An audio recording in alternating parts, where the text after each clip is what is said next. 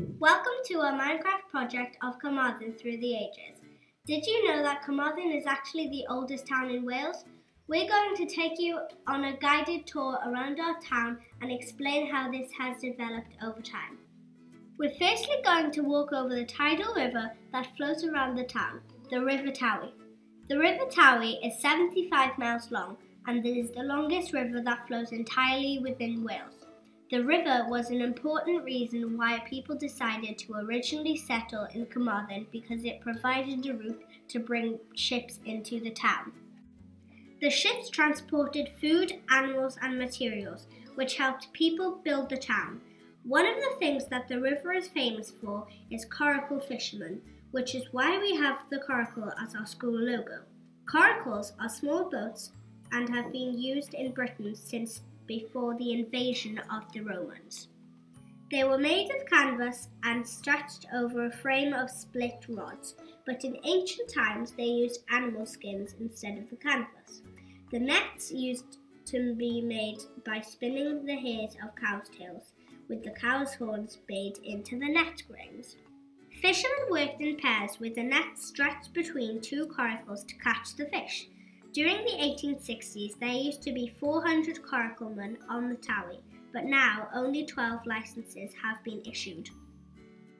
As we move around Castle Hill, we can see Carmarthen Castle. This has been built 20 metres above sea level and provides a good view around Carmarthen and a good location next to the river. The first Norman castle started being built in 1093 further down the river by William Fitzbaldwin, but this was destroyed and then rebuilt on the site of the Roman fort in 1109. The castle was originally built in wood and was captured and destroyed on several occasions before being rebuilt in stone between 1181 and 1233. Llewellyn Fell, the first Prince of Wales, captured the castle in 1215 and held it until 1223 before it reverted to the English crown. The castle was captured by Owain Glyndwr in 1405. By 1456, Edmund Tudor, the father of Henry VII, took possession of the castle during the War of the Roses, but he died there later that year. An eight cell jail was later built in the Inner Bailey, which was then converted into a new county jail in 1789 around 1860, a two-storey police station and lockup was built between the outer and inner walls of the castle. It was used as a place to hold prisoners in transit to the nearby courthouse.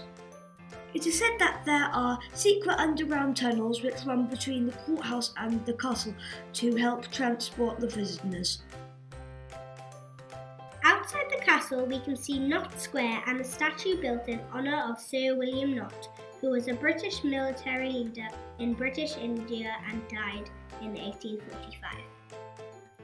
This was also the site of the death of Bishop Ferrar, who was the Bishop of St David's in 1548. Bishop Ferrar committed various crimes and was ordered to be executed at this site by being burnt at the stake.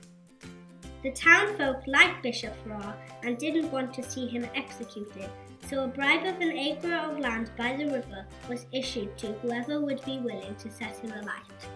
One person stepped forward, set him on fire, and claimed their prize of land, but that person sadly died shortly after from the plague, the Black Death.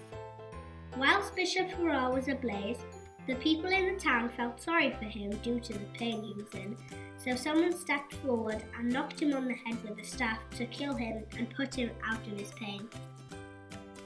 This is the Guildhall, which has been the Crown Court and Magistrates Court in Carmarthen since the 1770s, but the earliest reference to the building dates back as far as the mid-14th century. The ground floor used to be split into two magistrates but this was closed in 2016. The first floor is home to Grand Former Crown Court. It has seen many historical trials during its times, including those of the Rebecca riots.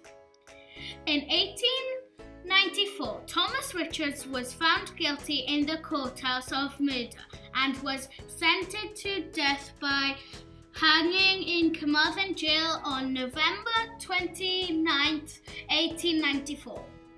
He was the last person to be hung in Carmarthen.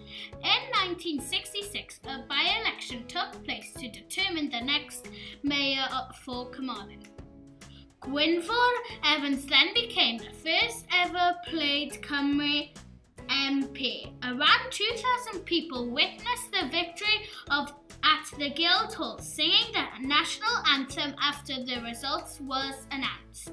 A permanent reminder of that night in 1966 now stands outside the Guildhall, recreating the moment that Gwynfor Evans took to the famous steps and waved to his adoring public.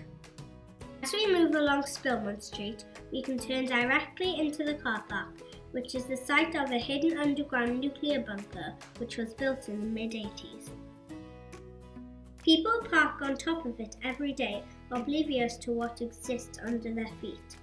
This was built due to an escalation in the Cold War that saw the US planning to install cruise missile bases in the UK.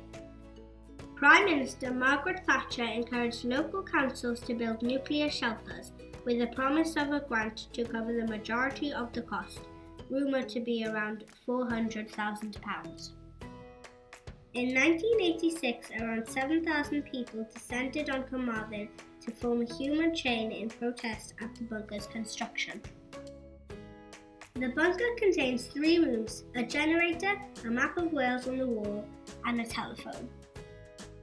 If the siren had gone off to signal that bombs were going to happen, people in the town would have fled for safety in the bunker, although it was nowhere near big enough to hold all the people from the town. As we continue to move along the Spilman Street, we turn right into the site of the Ivy Bush Hotel. Behind the Ivy Bush was the site of the first large-scale Eisteddfod in Wales, which dates back to 1451 under Thomas ap Griffith of Llandilo. Eisteddfod is a festival of Welsh literature, music and performance.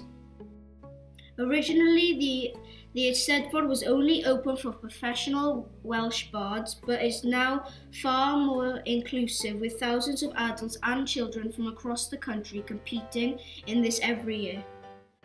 The main prize is a chair because throughout the medieval period, high back chairs were armrests were reserved for royalty and high status leaders in the military and religion. The earliest known bardic chair made from an Eisteddfod was built in Carmarthen in 1819.